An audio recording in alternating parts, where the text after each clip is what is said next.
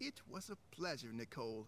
The pleasure was all yours. Uh, so there's a steakhouse on the other side of town, and Yes, yes, I'll hold up my end of the deal, don't worry. But before we leave, I just wanted to ask you do you enjoy being white? What? I mean, not sure how white I'll be after What? standing in the sun all day. No, sorry. Allow me to rephrase the question. Do you love the white American culture? What? Are you a proud white woman? What?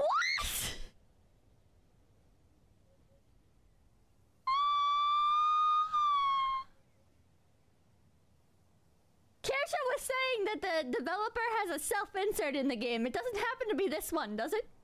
Hey, Crocodile saying realize he actually did it. He really made her likable. What? Two? Tony Stark thing with the two dollars? Oh my god!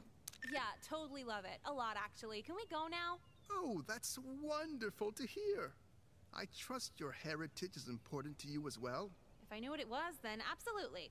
So great to find a like-minded Real student character in thing my was well, class. Peppa. How do you feel? I love our I'm race, scared. and I'm proud of it. This is the first shoot of many, Nicole. Cool. Okay. Will I get paid next time?